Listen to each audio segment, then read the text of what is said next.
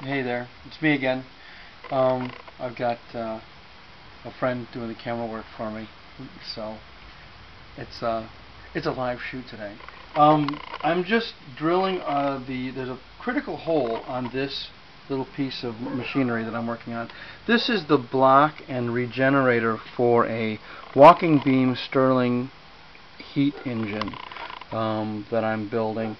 Um, it's a model that's available from littlemachineshop.com. They're a nice little shop for a lot of these little uh, Stirling engines and just about anything you'd ever want for the home home machine shop. And yes, I probably need to give them a call. But I wanted to show folks that uh, with just a common drill press, you can do a, a lot of things at home.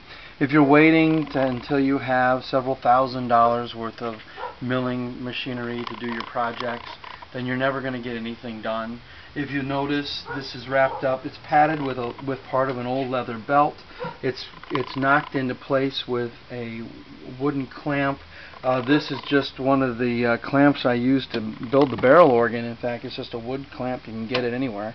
Um, the the deck on this drill press happens to be able to turn to 30 degrees, and as you can see by the little divot, I've already sort of sighted this one in a little bit so I know where the hole is going to go. Um, the inside here, it this will be the connector between the hot end of the engine and the cold end right here at the piston.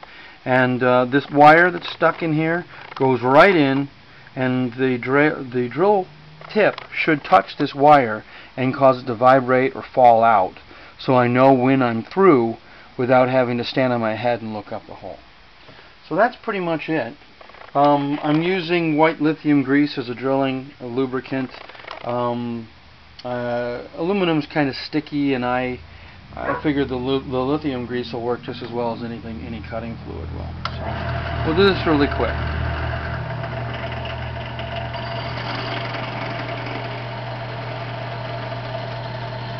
I'm just easing this down in here.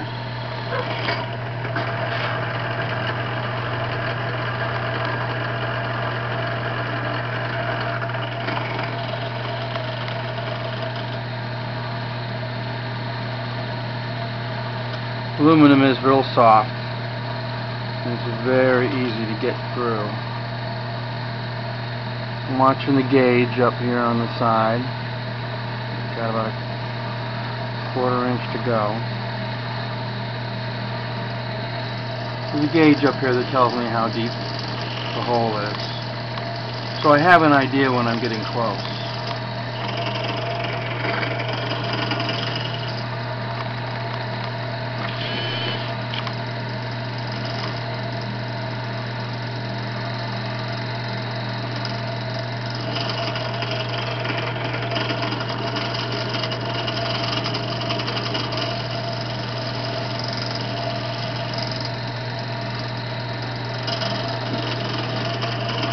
Don't forgive there.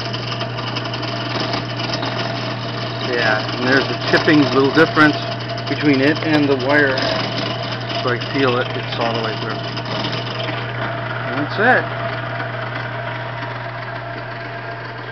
In a hole, improvising, get it done.